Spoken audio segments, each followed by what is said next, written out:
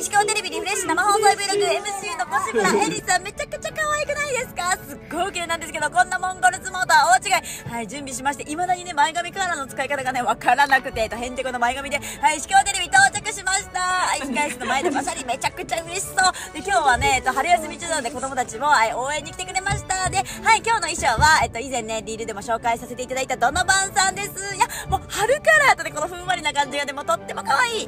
で今日はえっと生放送で、えっと、控室で子供たちはあいあの見てくれました。イージークッキングです。えこのコーナーはイージーいわゆる簡単で、うん、イージーって言いたくなるようなお料理をご紹介していきます、はい、じゃじゃじゃんわあ美味しそうこちらです。はい、どう？はい、冷凍パイシートで簡単ピザの完成です。あ、すみません、まだまだなかった。ごめんなさい、すいません。すいません。見てくれた皆さんありがとうございます。